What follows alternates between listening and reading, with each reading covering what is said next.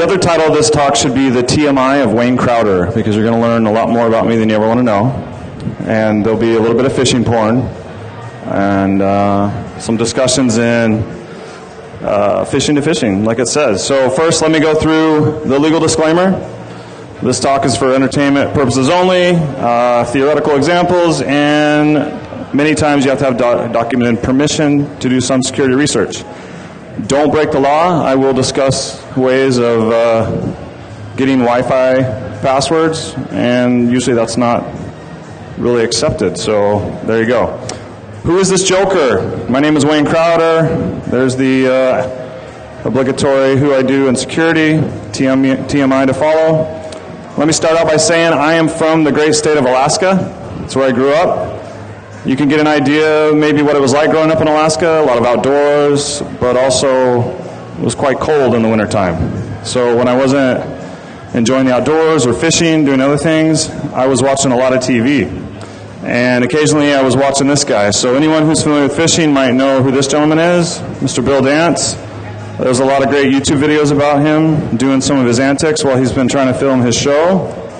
Uh, this is one of the uh, ones that I thought would go over well here at the con. These kind of videos made him pretty famous. Some of you might only have experience with fishing with this game. Does anybody play this when they're younger?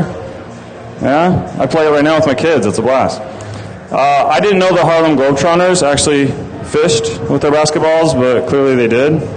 Uh, some of you may have uh, experienced fishing with this, right? Sega bass fishing, one of the best. But a lot of you probably spent time with a family member, maybe a grandpa, a dad, a loved one. Uh, some of the ladies out there even have uh, experienced the fishing, but I know through pop culture that sometimes catching a delicious bass is a good way to get the ladies. Uh, it might even be a great first date, and it worked for me. That's how I got my wife. No. Uh, this is an actual real photo from someplace in Norway. It's pretty funny. There's no help available for her at all. Some of you might have gone fishing at your hotel, right? This is actually supposedly from some room here on the strip. I thought that was good. And some of you can't go fishing because you always drop the bass, okay? Anyway, I'll get back to some more serious stuff here. Major League Fishing. I don't know if anybody's ever seen this show. Uh, professional fishing, there's actually a lot of money in it. It's a huge market for a certain section of the company of the country. Uh, fish like this, boats like this, with crowds, everybody's lining up. Uh, there's a lot of money involved. These guys are chasing. Some are even driving their boat sideways for hundred thousand dollars, 125, even a million dollars. That's the prize money in some of these purses. Okay, they fill stadiums like this and like this just to watch people weigh fish. Okay, and the ultimate goal is to get one of these, right? Of course, they want to get paid, but we always want the trophy. So, bear with me as I set all this up and how it goes into security. The TMI moment. This is me many years ago on a billboard. This was a giant billboard on one of the freeways up north. And I was Mr. Big Fish for a dealership with a wrapped truck and boat. This is me hugging myself, all right? It's kind of a cool thing to have your own cutout. I had a wrapped boat went very fast. I had the same dreams and passions. I wanted to catch all these fish, big, beautiful fish like this, even trout. Heck, if it was in the water, I would catch it. Uh, this was a great trip to the Amazon. I got to spend a week in the Amazon and meet the people and do stuff. And I even got a trophy, right? I got my trophy, my moment, and I got to kiss a lot of these. Okay? I got to kiss a lot of fish. But then something happened. Okay? Something happened in my life. Yeah. Right there, something happened, right? Did this happen to anybody last week? Yeah, a few of you? Okay. So something happened. This happened, okay? This happened in my life. My oldest son, who we named Fisher, because at the time I was traveling around doing this stuff, he was diagnosed with autism. And uh, the only familiarity I had with something like this was at a charity event many years back where I took a child out with that. And so my priorities changed, okay? I had to change my priorities, figure out what I was going to do because I'd been working jobs like this, a little bit of security, but a lot of technical support, maybe an admin, and I was told that there's going to be more security in security, right? And so I started to look around for jobs and try to see, you know, what could I do? Am I the analyst you're looking for? And it brought me to a small little village called Kansas City. And uh, there I am in Kansas City, and I got this great job. I'm, I'm working security, and as I'm working, I'm starting to figure out some things, and I found out that professional fishing has a lot of similarities with InfoSec. Okay? A lot of similarities with InfoSec. And you might be saying, Are you serious? And I'm saying, Look, even an orangutan, monkey, ape, however you want to put this, can fish. And that goes on both sides, right? Fishing or fishing. So let me explain. Okay? I'm going to go a little deeper into this. Who's this? Does anybody know? Anyone in the crowd? This is Moxie Marlinspike, okay, from his video. Moxie's here cleaning fish. He was spearfishing before. He's cleaning a fish he caught. There's even a lure named Moxie. This is the Moxie lure you can use for fishing. Now, I know I took us off the rail here. It's not that great, but let me really explain how an InfoSec analyst and a professional, professional fisherman are different but similar in a lot of ways. First, let's go into training. So, how many here have been to training this year? Yeah? Little crowd participation? There's SANS, right? SANS training. We pay a lot of money for SANS training. We sit in classes like this. This is actually a class I was recently in. And we get a, we get a lot of good education out of this. Well, in professional fishing, they have something very similar. It's called the Bass University. And believe it or not, it's set up very similar to how SANS is. All over the country, there's these Bass University weeks that the pros come in and teach, just like the pros come in and teach at SANS, right? And uh, people pay a lot of money to learn how to be better fishermen and how to do different things, okay? So we've done the training, whether professional fishing or SANS training, it's time to get those serious skills. And what are some of the serious skills of a fisherman or of an InfoSec pro, okay? To me, research. Research is one of those skills that is something you can't really teach. It's something that comes with a person, right? They're going to have it. So here's an example. Information security likes maps. Okay? We like to look at maps. We're going to research something like this. We're going to look at some of the data on here. Fishermen love maps. They're going to do some research. They've never been on this body of water. They're going to check out A, B, C, D, right? All these different areas. Okay? But you can do all the research you want, and you can prepare all you want, but nothing beats time on the water, right? Time on the water or experiencing what's going on is the best way to uh, uh, to gain that uh, experience. So, analysis via research. This is the obligatory Star Wars slide. You have to have one of those. I heard at every uh, con. Okay, so go back to a- analysis. InfoSec professionals spend a lot of time looking at stuff like this. Okay, but we need some context, right? Some kind of situational environment. What is it? Well, same thing here. This is a, a map of maybe how to fish a certain area of a body of water, but we do learn that this is a fall and winter, so maybe you kind of learn maybe how to approach that. Um, here's here's a something that an infosec might look at, an infosec professional. This is lots of data, right? Does anybody know what this is? A screenshot of? Yeah, it's SIF. Okay, but what does it all mean? Well, you need to understand it better. So just like with a fisherman, here's a river. If anybody fly fishes, there's all these different areas that you can fish, right? I believe there's 12 points on here that you could look at. Some pools, behind rocks, things like that. So there's a lot of data to analyze. One thing that the uh, InfoSec professionals and, and fishermen need to have is the big picture. They need to understand the big picture, right? So, believe it or not, this is supposedly not photoshopped. This is some really famous guy in Europe who catches giant goldfish and carp. Uh, but it's all about perspective, right? I mean, who knows? He could have been holding it out like crazy. Could have bought one of these. Uh, I thought this was funny. Um, here's another big picture item for anybody in InfoSec. What does this tell you if you're in InfoSec? What is the big picture here? Throw the thing in the trash? Maybe burn it? I don't know.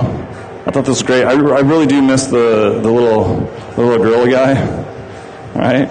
Um, but here, here's the big picture, right? Um, the idea for InfoSec is we're trying to catch or prevent or stop all the bad guys, right? So for a fisherman, the big picture is to catch all the fish, right? To catch the biggest fish, to do all those things. So those are some similarities that I that I found out over the years. Another one are shiny things. Okay, InfoSec pros, a lot of people in IT, they get caught up in the shiny things. Okay, this kind of box. This is the box that the vendor's going to sell you. Uh, it has a fish symbol on it, right? It's going to do everything for you. It's going to make your job better. All these things. It's that shiny thing. Well, for fishermen, you have lures like this. Wow, it's amazing. Look at the detail on that. Look at this one. It looks just like a real fish, right?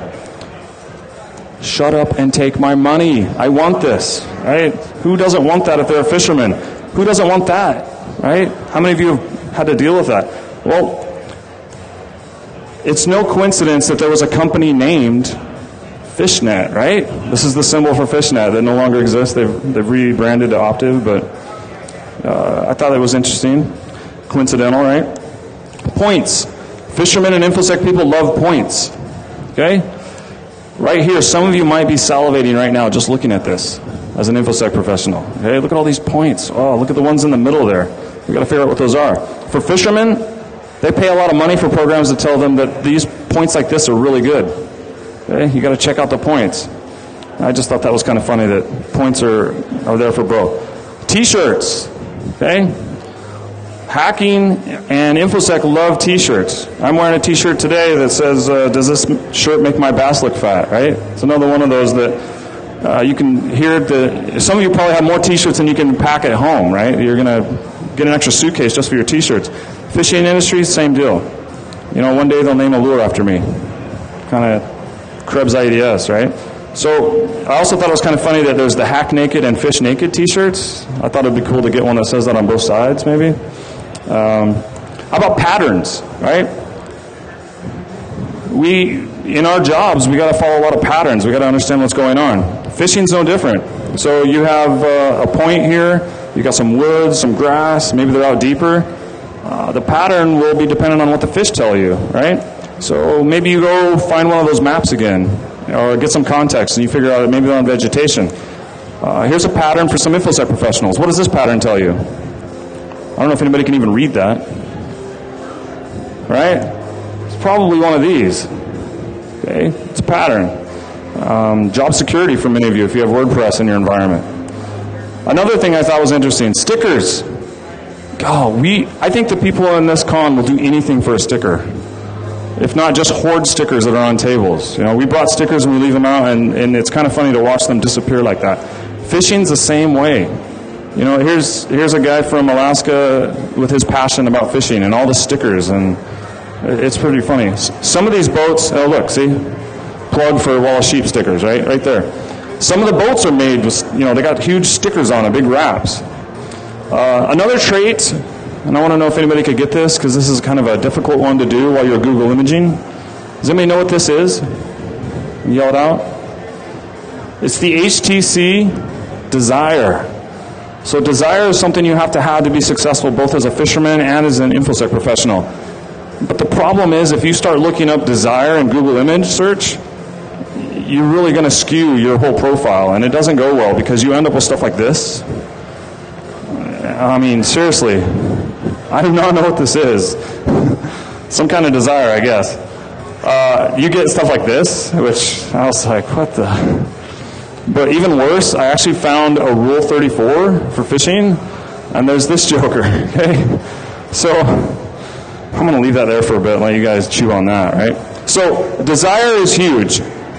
You have to have desire to really succeed. You can't be the guy that's like going to go home at five when there's an outbreak of something, right? Or you need to be reviewing stuff. There's an incident. Um, you really got to have that passion, that burning desire. So I just thought that was kind of interesting, and then I learned way more about the old industry I was in in fishing doing this talk than I ever thought I would. Uh, another trait between InfoSec professionals and fishermen is organized. Right? They have to do a lot of preparation.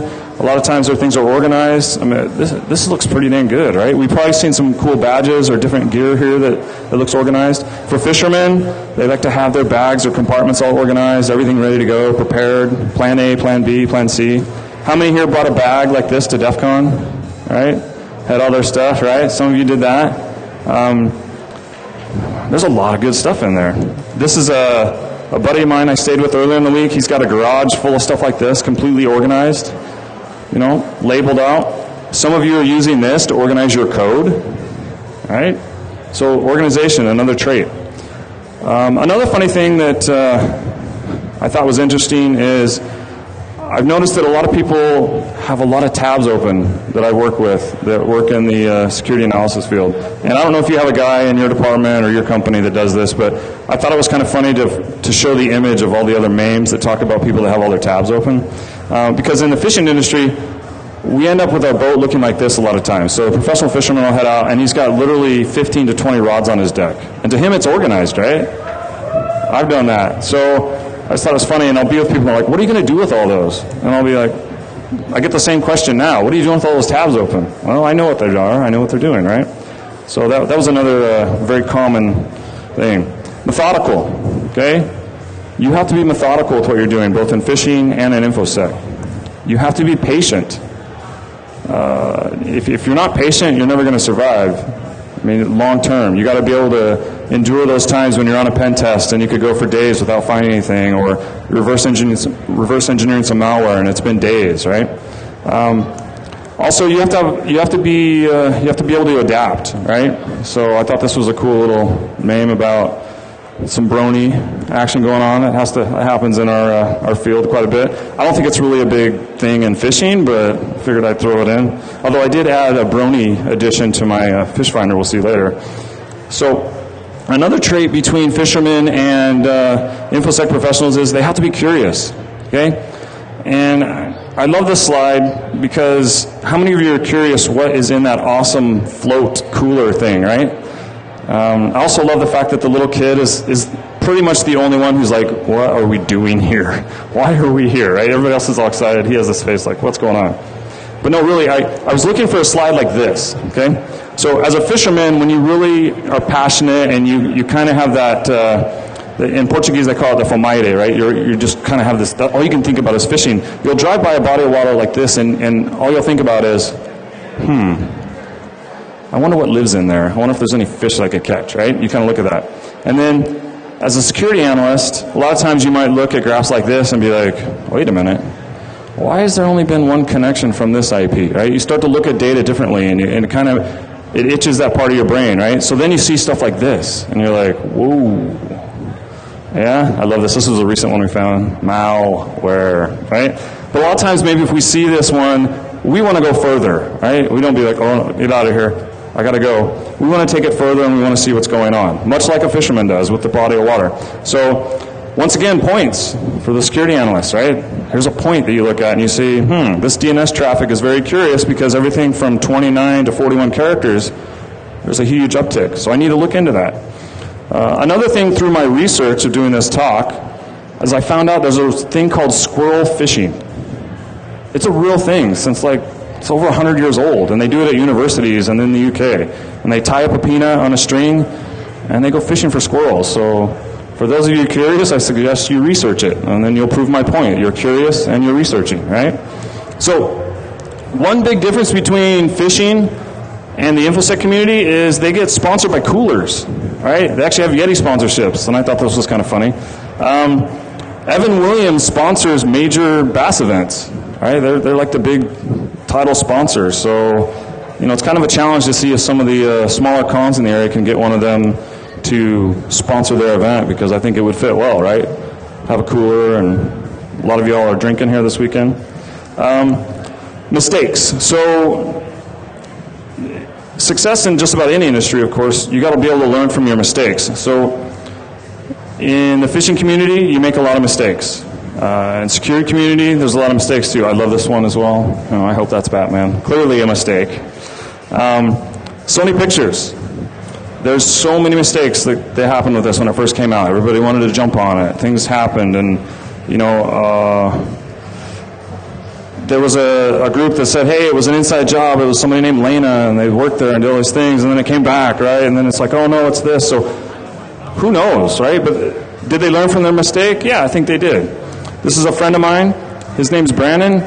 He was kicking everybody's butt at a tournament, leading on the second day by many a lot of pounds. And, and you see on the uh, on the uh, left there that he was culling some fish, and that's where you take out a smaller fish and replace it with a bigger one. And throughout the day, you take your best five.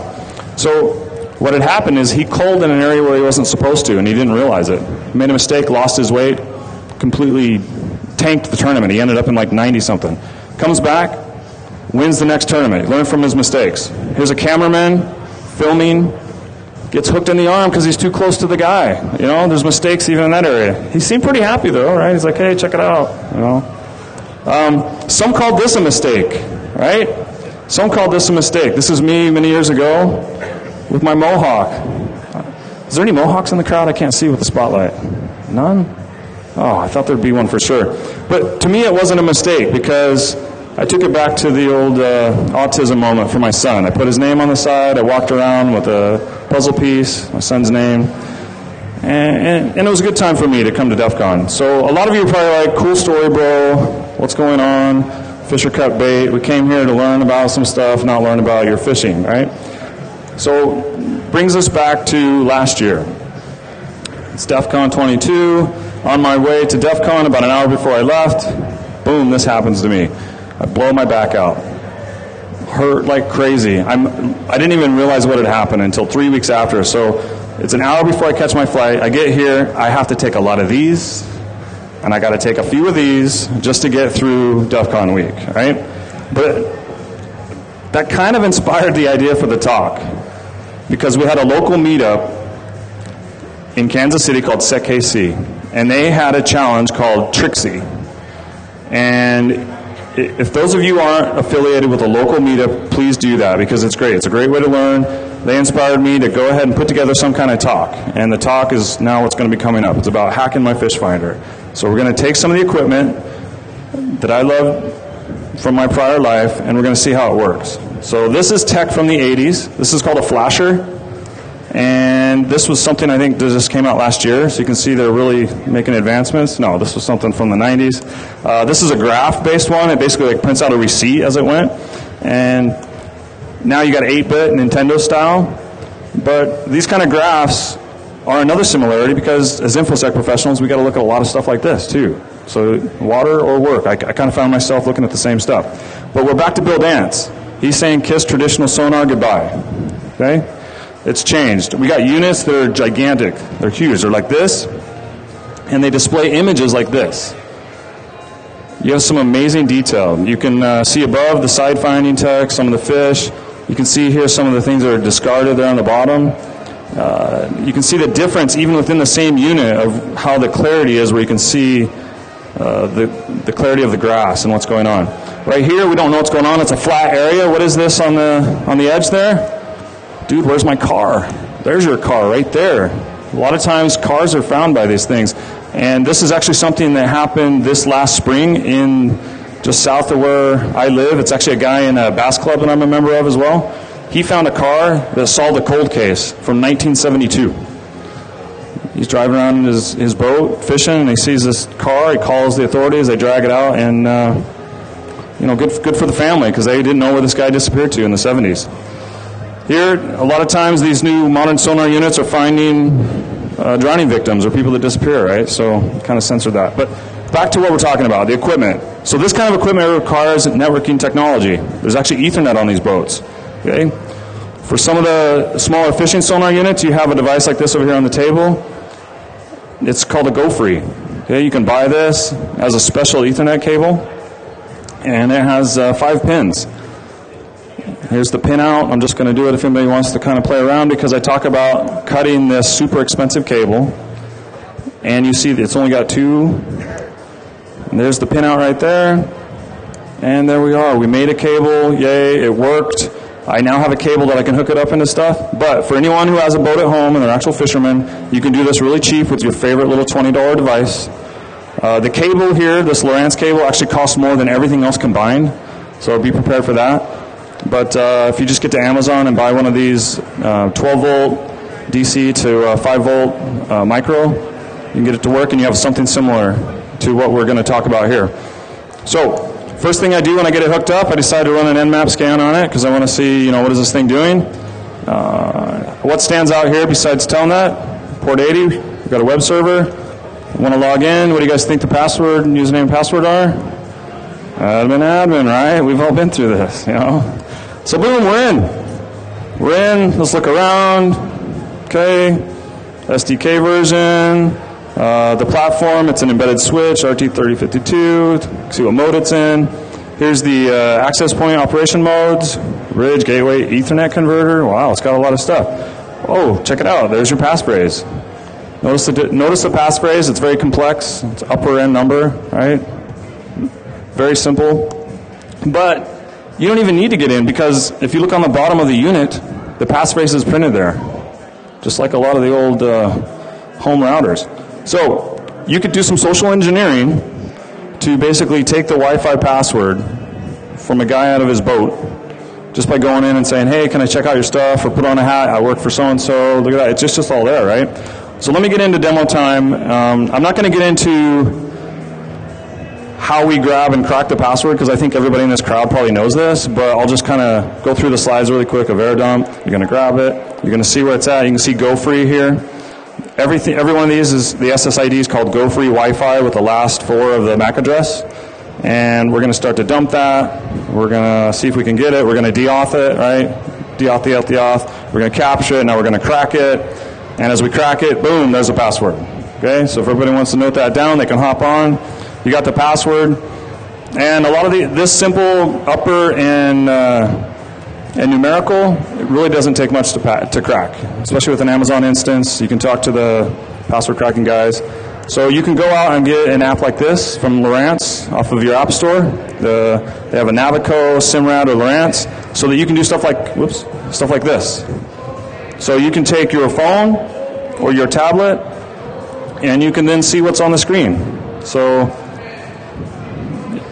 it just tells you what's on somebody's screen. I thought that's kind of cool because when you're out fishing, you're like, why is that guy on the point? Well, if you get, get into his device, you can see what's on the screen. So you can see what's on the screen, mirror it out, but more importantly, you can hook it up to a tablet, so now you can take that little tiny display and you can have it work so that you can actually control it from a tablet, a full size tablet like this, and you can control what happens on the screen. So, what if you could take a fishing pole and hook up one of these small monitors? Or maybe add some Wi-Fi and just go out and sniff and start doing sonar driving, right? Drive around a lake, get in your boat, start war driving sonar units. Maybe make an evil, evil sonar unit. Get people to connect to that, right? But I'm running off the rails again. So I start to run Wireshark on the communications between mirroring my screen and what's going on, and I see that it's using a screen mirror called GStreamer. Okay, so that's kind of interesting. Well, let's nmap what's going on with that device. So I run an nmap on the actual sonar unit, and I see a lot of interesting stuff. Port 21, port 80. Wow. What's on port 80? So, what? Download a USR file. Anyone who's a fisherman here, do they know what a USR file is? No? You're going to. And if you don't, this is kind of a big deal.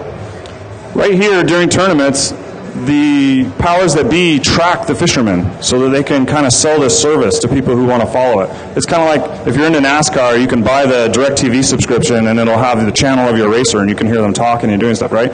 So here you can see that Boyd Duckett, this fisherman, is down over here. So if you're on the lake, you can drive over and watch him or you can see what's going on. You can see what Boyd's doing, maybe the fish he's going after.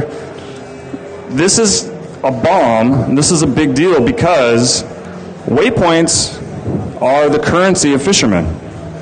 Anyone who fishes here would know that waypoints are a huge deal. That's your time on the water. That's your experience. Okay? They're, they're kind of a big deal because waypoints, if they're taken, would be like taking Moxie Marlin Spike's code, this guy's recipes, right? So, somebody's head's bleeding, I think.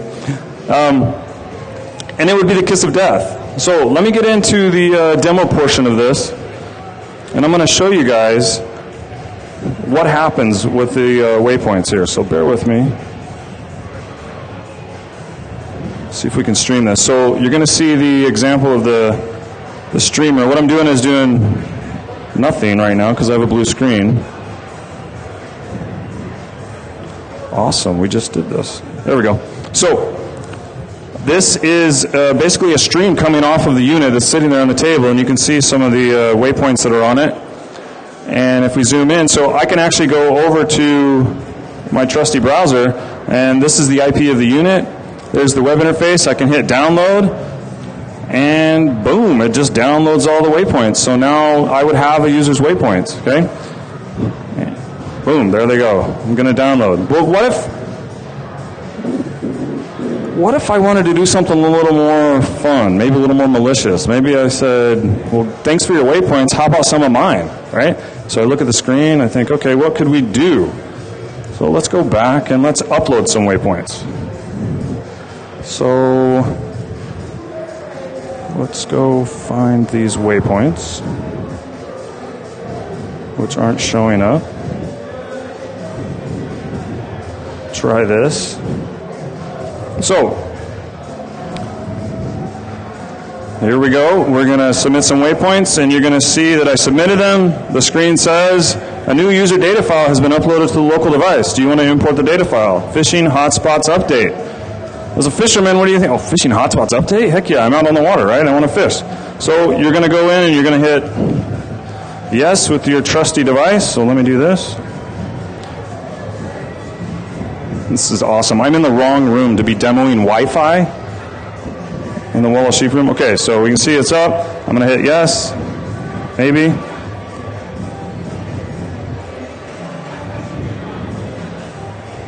There we go. A little bit of lag and delay. There's probably a lot of Wi Fi going on in this room, I would imagine. And it crashes. I'm going to have to have some analog help here. Oh, there it goes. Update. So now, wait, what is all this? What is all of this, right? What is all of this? I'm, I may have to have assistance to press it because it clearly crashed my Wi Fi device in the room, in the most hostile Wi Fi area of Vegas right now. Awesome.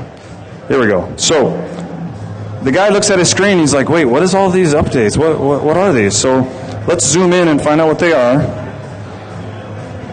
Oh, I need some Jeopardy music. Anyone? Jeopardy music? There we go. Dun, dun, dun, dun, We're zooming.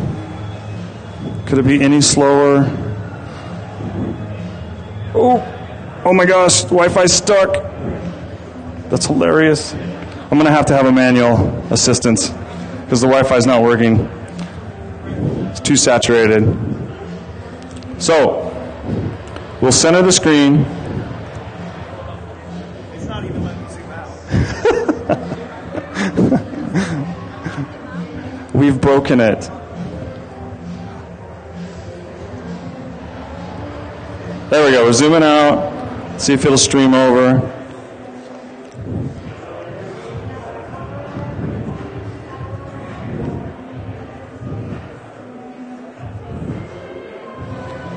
Anything? Press the button on the side there, the, the minus button on the le- on the right there. Yeah, on the right of the display.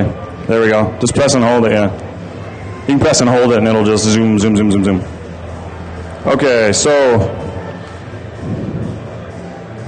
if you hit, uh, there we go. Sorry for the delay on this. We're streaming. You can see we clearly the zoom button got stuck on the device.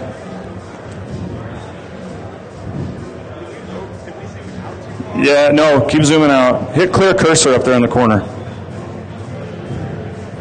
There you go, there's the lake. So we're in Vegas. So if you scroll over, I'll scroll a little bit. This, this demo is crashing and burning clearly. There we go. So the lake's below you there.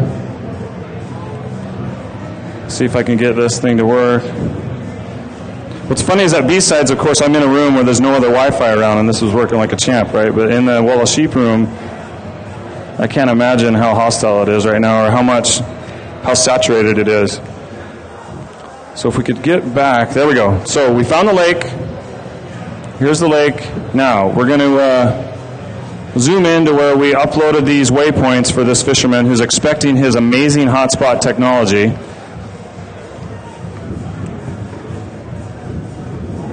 There we go. So, as you, some of you might be able to make it out already. What it says. It's not working. All right, well, I planned for this by putting a slide deck in. There you go. Zoom in for me, Scott. Right, right, right. You basically wrote out that welcome to DEF CON on Lake Mead if they're out fishing on Lake Mead, right? Thank you. Zoom out one more a little bit. Zoom out. There we go. Thank you. You're so kind for the complete failure of my demo. But you can literally DOS a guy's lake, uh, you know, DOS his favorite fishing spots, or send subliminal messages, or I don't know, maybe one day they'll put like this lake map brought to you by some fishing company, right? Who knows? Evan Williams lake map. Um, slide deck's not coming back up now. There we go. So, what I wanted to do is show how you could download and upload and then use custom icons like this, right? But I couldn't get them to load in because it would be cool to be like, oh, sweet, look at the icons you can get on this device.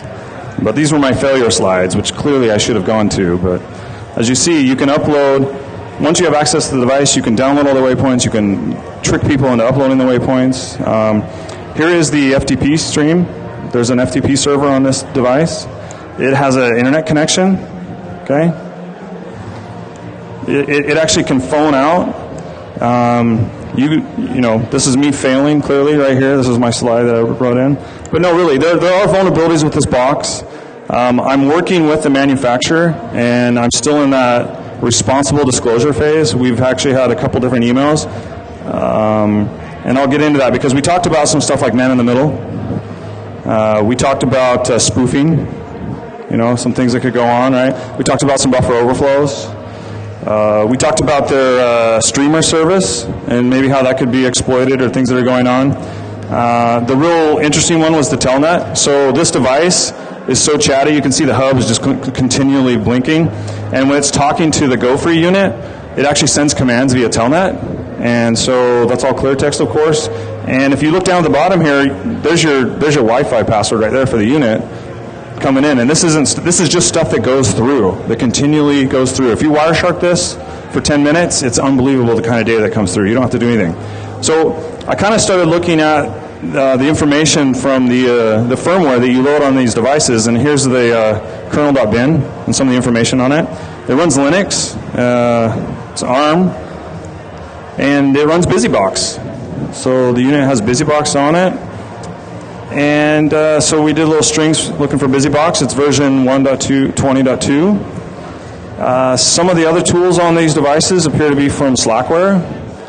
You know, I'm, I'm, working with them on that. I asked them to pretty much tell me, so how are you guys handling the uh, GPL licensing with some of the stuff you're doing? Because you've written some custom kernel modules, and honestly, after those emails, I haven't heard back from them, but it has been kind of an interesting week. So there's a couple things I asked them about, and I think that maybe the lawyers have gotten involved. If not, they will after the video, but um, we'll see. I'm trying to work with them. I didn't really want to get into too many other things, so I apologize if it's not too technical for everybody, but I thought it'd be fun to show some of this stuff. Like, here's the shadow file um, of the unit, and so you can see root and uh, NOS, these two uh, accounts. Well, then we decided, hey, let's try to crack them, and it was really hard because it took less than a second to figure out what the password is, and it's NOS, NOS for both of those.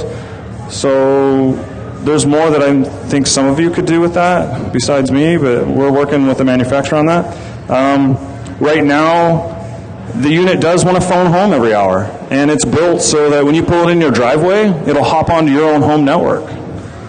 And then it phones home. So the other question I asked that I didn't get an answer to in the same exact email was, do you send back any anonymous statistical data, you know, metadata, like where was the, what was the last GPS point, or you know, something else because I thought that's weird. It phones home every hour, but they have an app store, right? So nothing can go wrong with an app store, right? So anyway, I want to make sure as analysts that we or as security professionals that we. Uh, we disclose responsibly, and I'm not going to go into any more detail than that fun stuff because they did say, look, some of our dirty laundry is out there and you can talk about it. And they've been really cool, so we'll see maybe if it goes a little further. And a lot of you, you know, I've seen some people get up and you might think that, hey, fishing's stupid. Why are we talking about fishing? But it has nothing to do with fishing, really. It has to do with the Internet of Things. Because devices like this have something on them. And if you look at the bottom there, there's something called autopilot. Now, I will say that a Lowrance device like this has autopilot disabled, uh, but you do have the ability to kind of hook it into some of the stuff. But Simrad is, a, is, is kind of the steroids version of these units, and there's a lot you can do. It controls some of the engine controls. You have autopilot. So you could take boats like this, maybe ships like this, maybe ships like this, and could possibly cause stuff like this. Right? We already know that the military is dealing with this issue because they have some drones. They have drones like this that we know had a problem that the Iranians were able to take over wirelessly. Um, whether, however you want to quote take, take over, but they're able to have it land in their airspace. Um, we know about this. This is huge. You know, Wi-Fi in cars. Uh, pretty much that's all I've heard about this week, and rightly so. Um, I, this was in a slide deck that I did last November, and I was talking about how this is probably going to be an issue. And here we go. We see Charlie, and then you know take a jeep and make the guy scared to death to be in the jeep. Uh, we know about this, right? Because this poor guy has had to deal with what he did for flying a plane sideways. But this is real tech that's being used. Something similar, like my tablet, is taking smaller planes like this, even some of the personal planes, so that you can take your iPod or your Android device and you can control everything you need to do with your plane. So that's, you know, it worries somebody like me, and I think it should worry a lot of us. So um, some of you may know this gentleman or have seen his talk, uh, Jay Radcliffe. He hacked his insulin pump because he used it, and he wanted to know how does it work. Well, they went after him, right? The manufacturer tried to sue him, shut him down, cease and desist, and he's like, look, this is important stuff. Some of you have smart meters now. This is a thing that's rolled out the last few years. You may have a smart home. It can be modified, messed with. Um, this is one that uh, was actually at my friend's house. Um, some of you have a Nest. I think they've been pretty good about what they're doing. But the whole idea here is I want to point out that as, as we've seen the theme of this year's week of Black Hat and DEF CON, and we have the new village over here, the Internet of Things, the Internet of Things is going to be huge. It, it already is, and it's going to get worse. And we need to make sure that this stuff's secure. So basically, I want you to help this kitten, of course, but I want no, I need you to tinker. I need you to hack. Okay? I need you to do something. And, and a lot of people have hacking as a bad term, but hacking is a great term. Okay? This talk inspired me, and her talk last year inspired me because we are the internet's immune system. Okay? We're the ones poking at things, checking things out, right? And, and right now, there's countries and parts of the world, and even within our own country, they're trying to kill this creativity. They're trying to make it illegal. Like the demonstration I gave in some areas of the world would be illegal, right? Because of the laws that they've recently passed. Okay? You need to use your brains to be problem solvers. Okay? Back to the squirrel, right? Full circle. Um, I don't trust words, I trust actions. This to me is an action. It might not be the greatest talk, but it was an action that I, I took the challenge last year and said, what can I do? What can I figure out? Right? And the whole point here is to hack the Internet of Things for good. And, and that's my challenge to you. Thank you for your time and for being so gracious. This is me. Uh, I will find you and I will talk to you about fishing. I promise. Uh, I'm Whack Bass. Uh, if anybody knows more about how to get into these devices or some ideas, I would love it. Uh, I do have to thank some people, Scott, uh, 85 here, Axon, and Pricery. They, they, they, helped out a lot with some of the imaging, looking around on the file system, and then of course my amazing wife and kids. I spent a, a lot of nights the last few months trying to figure out what to do and how to make this talk happen. So thank you all very much. Have a great con. You, are there any questions?